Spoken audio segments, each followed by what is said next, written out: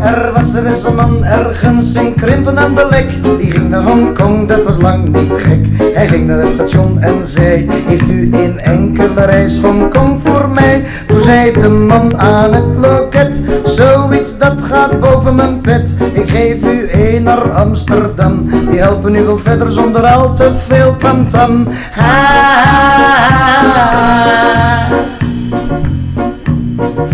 vertrok toen vlug naar Amsterdam al met de eerste trein. Daar was hij gauw en dat vond hij fijn. Hij ging naar het station en zei: Heeft u een enkele reis Hongkong voor mij? Toen zei de man aan het loket: Zoiets dat gaat boven mijn pit. Ik geef u eentje naar Berlijn. Die helpen u wel verder naar het land van Mandarijn. Man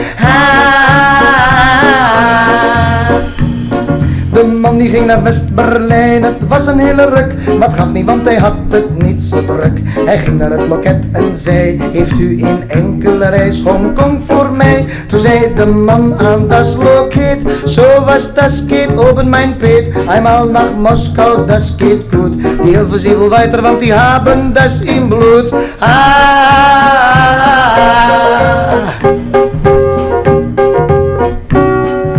ging toen weer naar Moskou, oh wat duurde dat weer lang. Van morgens vroeg tot aan de zonsondergang. Hij ging naar het station en zei, heeft u een enkele reis Hongkong voor mij? Toen zei de man aan het loketsk, Broes naar Lepetsk, Brushna Ruska Istanbul, Brezhna Tjiki Tjiki ni Nishni ni Brul. Ah. Hij nam de trein naar Istanbul van 23 uur, al alles bent wel hij ging naar het station en zei: Heeft u een enkele reis Hongkong voor mij? Toen zei de man aan het lokach: Alle ach met vach, ach, ach. En met een kaartje kon hij gaan. En reeds de eerste ochtend kwam hij daar in Hongkong aan.